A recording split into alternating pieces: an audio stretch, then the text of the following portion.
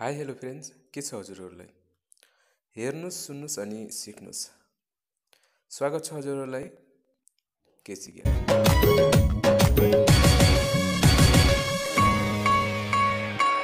Sorry के हजुरले पनि इङ्ग्लिस आउँदैन? के हजुर पनि म जस्तै इङ्ग्लिसमा कमजोर मान्छे हो? हो भने आउनुहोस् मसँग आज एउटा एप्लिकेसनको बारेमा भिडियो पुरा हेरौँ। मैले हजुरहरूको सामु एउटा भिडियो लिएर आएको छु। जसले गर्दा एउटा नर्मल मान्छे कति पनि केही नजान्ने मान्छे पनि एउटा राम्रो अङ्ग्रेजी बोल्न या पढ्न सक्छ। र यो एप्लिकेसनको नाम हो English learning hello English hello English hello English तपाईँले पनि सायद सुनेको नाम हुनसक्छ। हामी सबैले एन्ड्रोइड फोन युज गर्छौँ। एन्ड्रोइड फोनको एकदमै फेमस एप्लिकेसन हो। इङ्ग्लिस स्पिकिङ कोर्स गर्नको लागि।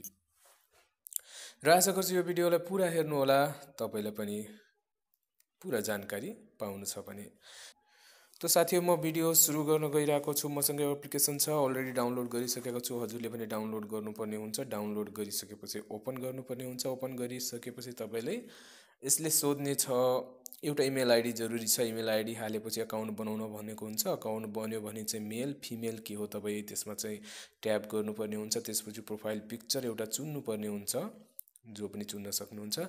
त्यसपछि तपाईँको एउटा अकाउन्ट क्रिएट हुन्छ। अकाउन्ट क्रिएट हुनुको फाइदा के छ भन्दाखेरि भविष्यमा तपाईँको फोन लस्ट हुन्छ या तपाईँको कुनै डाटा लस्ट हुन्छ तर इमेल आइडी छ भने तपाईँले अगाडि अरू डिभाइस या अरू फोनहरूमा तपाईँले इमेल आइडी हालेर त्यो अकाउन्टको जहाँसम्म तपाईँले त्यसको पार्टहरू पुरा गर्नुभएको छ जुन पेजसम्म तपाईँ पढ्नु भएको छ त्योदेखि अगाडि तपाईँको कन्टिन्यू चलिरहन्छ।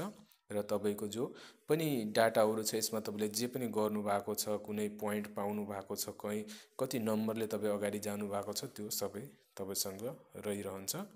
र यसमा अहिले जस्तै मेरो सामने नाम आइरहेको छ अनि एकदमै सिम्पल छ।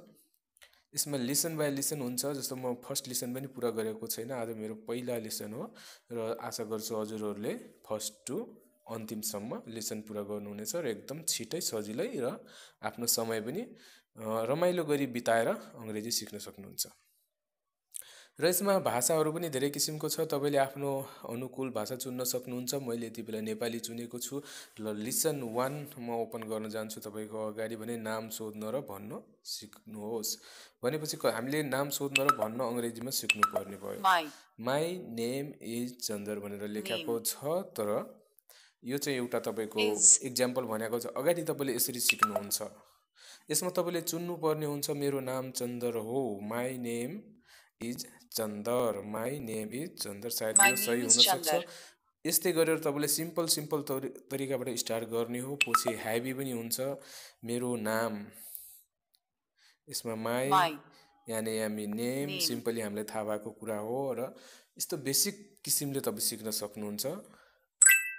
र यसमा म एउटा छु त्यसले ध्यान दिनु होला। आइएम चन्दर आइएम चन्दर जस्तो कि यसमा म चन्द्र हो भनेर लेखा छ आई मैले एम लेख्न पर्ने ठाउँमा याम इ छोइयो भने गल्तीले बादमा यो लेख्नु गलत त हुन्छ मेरो तर यसले रिटर्न कसरी गर्ने भनेपछि यसलाई सब्जेक्टले फेरि छुनु भयो भने त्यो वापिस आउँछ। अनि त्यसपछिको कुराहरू के छ भन्दाखेरि यसमा एडहरू आउँछ एडलाई चाहिँ स्किप गरिदिनु होला सिम्पली। यसमा रोचक रोचक जानकारीहरू छ लिसन पार गर्नुभयो भने तपाईँले यसमा धेरै पाठहरू छ जो पढ्न सक्नुहुन्छ। पढ्दाखेरि तपाईँले ट्याप गरेर त्यसको सुन्न सक्नुहुन्छ अङ्ग्रेजीमा कि यसले भन्न खोजेको के हो र के भन्छ त्यो हेलो तपाईँ कस्तो हुनुहुन्छ? म ठिक छु आदि अन्नु यो सब कुराहरू तपाईँले लाइभ कसैसँग कुरा गर्न सक्नुहुन्छ। अनि यिनी सब एक एक चिजहरू कुरा गर्न सक्नुहुन्छ एउटा असिस्टेन्ट जस्तो तपाईँसँग हुन्छ जसले कि तपाईँसँग लाइभ कुरा पनि गर्छ। अनि यसमा गेमहरू पनि धेरै छ तपाईँले जस्तो यसमा धेरै गेमहरू पनि पाउनुहुन्छ। म सबै कुरा देखाउन चाहन्न अहिले। तपाईँले आफै डाउनलोड गर्नु सबै चाहिँ थाहा हुन्छ। गेम तपाईँको मजा पनि आउँछ गेम पनि खेल्नुहुन्छ र ज्ञान पनि आउँछ। र म सबै चिज भन्न थालेँ भने चाहिँ भिडियो चाहिँ धेरै लामो हुन्छ अनि हजुरहरूलाई पनि बोर लाग्ला। सो ओके साथी हो ब्याक टु ब्याक लेसन पुरा गर्नुहोस् अगाडिसम्म जानुहोस् र राम्रो इङ्ग्लिस सिक्नुहोस् र भिडियोलाई मन परे लाइक गर्नुहोस् र सब्सक्राइब गर्न नबिर्सिनु होला नबुझेको कुरा कमेन्ट गर्नुहोला। ओके धन्यवाद जय नेपाल।